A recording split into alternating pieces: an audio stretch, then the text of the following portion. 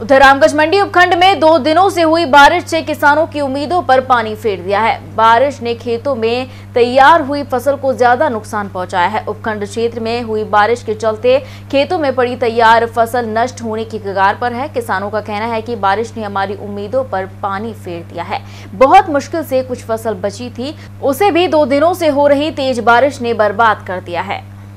दस बीघा की सोयाबीन जो है, डेढ़ लग रही है। सारी खत्म होगी पानी हाल तक दिन निकाली हो सड़ रही जुबी सड़ रही हो हाँ हमारे एक महीने पहले बाढ़ आई उसमें सारी फ़सलें नष्ट होगी और फिर कुछ बची कुछ ही फ़सलें हैं वो काट के हमने खेत में डाल रखी है। अब अभी इतना पानी बरसा है वो करके मतलब उस पानी में डूब चुकी केस मेस हो गई।